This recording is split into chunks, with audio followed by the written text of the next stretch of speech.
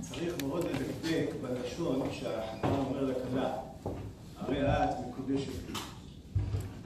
ברוך השם, היום רוב העולם משתמשים בלשון מסוימת, מתוקנת, מסודרת, הרי את מקודשת לי בטבעת זו כדת משה וישראל. אבל אם החתן שינה קצת מהלשון הזאת, פעמים שהקידושין חלו, פעמים שהקידושין לא חלו. צריך חכם שבקיא בהלכות קידושין ושיבחין בדבר הזה. למשל, אם הוא אומר לה, הרי את אשתי, הרי את ארוסתי, הרי את לקוחתי, הרי את מאורסת לי, כל אלה לשונות של קידושין, זה תופס, קידושין תופסים. אבל צריך שהכלה תבין מה שהוא אומר לה. אם היא לא מבינה מה שהוא אומר לה, אומר לה, הרי את לקוחתי, והיא לא מבינה מה הוא מדבר איתה, אז הקידושין האלה לא חלים. החתן צריך להבין מה שהוא אומר, והכלה צריכה להבין מה שהוא אומר. והלשון צריכה להיות מדויקת, וככה היא מקודשת. יש לשונות שהם מבוארים בגמרא בקידושים בדף ו' שהם ספק. כמו הוא אמר לה, הרי את מיועדת לי, הרי את מיוחדת לי. אלה לשונות של ספק.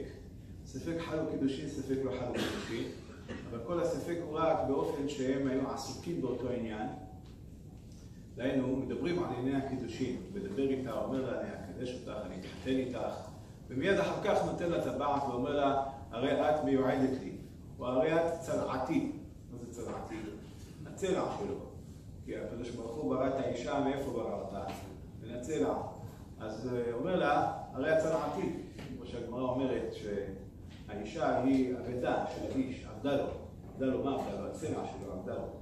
ובעל האבדה מחפש אחרי אבדתו. כשמצא אותה, מה אומר לה? או מצאתי את הצלע שלי. הרי את צלעתי, נותן לה טבעת ואומר לה לשון כזאת. זה אחת מהלשונות של הספק. אם היו עסוקים באותו עניין, אז יש לנו ספק. ואם לא עסוקים באותו עניין, לא חלו הקידושים האלה. כשעסוקים באותו עניין זה מציל את המצב הרבה פעמים. כי אפילו לא אמר לה כלום, הקידושים חלו.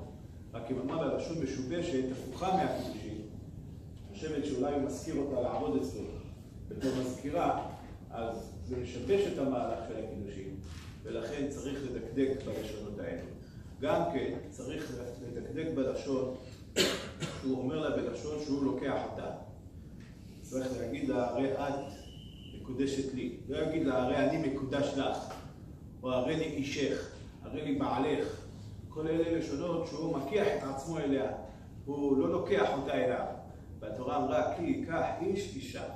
האיש לוקח את האישה, ולכן צריך לומר לה, הרי את אשתי, הרי את כוחתי, הרי את מקודשת לי, כשהוא לוקח אותה באופן הזה הקידושים חלים. ברוך אדוני העולם, אמן ואמן.